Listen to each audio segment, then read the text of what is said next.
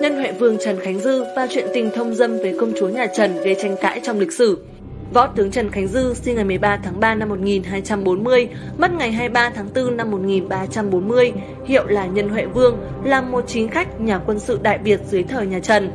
Ông nổi tiếng có tài cầm quân thao lược, tính cách quyết đoán, mạnh mẽ và có một mối tình oan nghiệt với Quỳnh Trân công chúa của nhà Trần. Công chúa Trần Quỳnh Trân là con vua Trần Thánh Tông, chị gái ruột của vua Trần Nhân Tông, còn có biệt danh là Thiên Thụy công chúa. Quỳnh Trân là người con gái xinh đẹp, tài trí, Khánh Dư lại là vị tướng tài kiêu dũng. Nếu không có biến cố, ắt hẳn Quỳnh Trân và Khánh Dư sẽ viết nên một thiên tình sử của Việt Nam.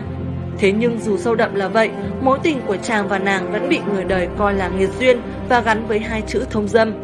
Chuyện xưa kể lại, năm 1257 khi quân Nguyên xâm lược Đại Việt lần thứ nhất, viên tướng trẻ Trần Khánh Dư đã lập mưu đánh bại một cánh quân mạnh của giặc. Sau chiến tích này, chàng được vua Trần Thánh Tông nhận làm thiên tử Nghĩa Nam, con nuôi của vua, phong phiêu kỵ đại tướng quân, một chức quan chỉ có hoàng tử mới được phong. Là con nuôi của vua, Trần Khánh Dư tự do đi lại trong cung và có điều kiện gặp gỡ công chúa Quỳnh Trân. Nghe danh vị tướng tài, khi gặp lại thấy tướng mạo hơn người, công chúa đem lòng ngưỡng mộ và đôi trai tài gái sắc yêu nhau lúc nào không hay. Đúng lúc đó con trai Hưng Đạo Vương Trần Quốc Tuấn là Trần Quốc Nghiễn cũng say mê công chúa Quỳnh Trân. Hưng Đạo Vương dù biết Quỳnh Trân đã yêu Trần Khánh Dư nhưng vẫn lấy uy thế của mình một mực xin vua gả công chúa cho con trai. Không dám từ chối Hưng Đạo Vương, người đang là trụ cột triều đình, nhà vua Trần Thánh Tông buộc phải hứa gả Quỳnh Trân. Dành tình cảm cho Trần Khánh Dư, nhưng Quỳnh Trân cũng không thể cưỡng lại cha, đành gật đầu đồng ý. Không dứt được mối tình sâu đậm, sau đó Trần Khánh Dư và công chúa vẫn gặp nhau, rồi chuyện tình của họ bị phát giác và quy thành tội thông dâm. Với tội này, Trần Khánh Dư phải bị đánh đến chết, tịch thu hết tài sản, nhưng vì thương công chúa, tiếc cho vị tướng tài, nhà vua nghĩ ra cách đánh nhưng tha cho ông một con đường sống. Mặc dù không chết, Trần Khánh Dư vẫn bị tịch thu tài sản, phế truất binh quyền, ông đành lui về Chí Linh làm nghề buôn than kiếm sống. Con Quỳnh Trân bị trả về sống trong cung riêng, cắt đứt quan hệ vợ chồng với Trần Quốc Nghiễn. Năm 1282, quân Nguyên Lam Le xâm lược tại Việt lần thứ hai, vua Trần Nhân Tông bất chợt gặp Khánh Dư đang chèo thuyền than. Đúng lúc cần tướng tài mưu lược, nhà vua cho vời Trần Khánh Dư về cung, phong phó đô tướng quân, quản lãnh một cánh quân chuẩn bị khởi binh đánh giặc.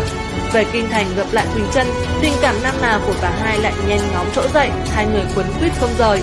Đến nỗi sử sách có chép lại, rốt cuộc Khánh Dư cũng không sửa được lỗi lầm cũ, phải nghe nhiều lời dị nghị từ văn võ bá quan, vua Trần Nhân Tông buộc lòng phải lệnh cho chị mình xuất ra ở mảnh đất ven sông Văn Úc, nay thuộc Hải Phòng.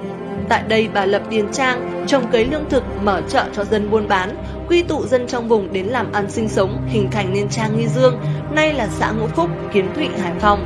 Không chỉ vậy, bà thường cứu cấp Trần Bân, đem kiến thức của mình phổ biến cho dân, khuyến khích họ khai khẩn đất đai lập nhiều làng xóm. Có năm thiên tai, bà còn xin miễn thuế cho năm xã trong vùng nên dân rất nhớ ơn tôn bà là Thiền Đức Đại Ni. Cuối năm 1284, quân Nguyên do Trấn Nam Vương thoát hoan chỉ huy tiến sang xâm lược nước ta. Năm 1285, tướng giặc Ô Mã Nhi tiến đánh Vân Đồn, Vạn Kiếp, phòng tuyến bị vỡ. Trước thế giặc hung hãn, nhiều tôn thất nhà Trần và một số tướng soái đã đầu hàng. Vua tôi Trần Nhân Tông phải rút vào Nghệ An. Lúc này triều đình họp bàn buộc phải cử sứ sang gặp thoát hoan để cầu hòa.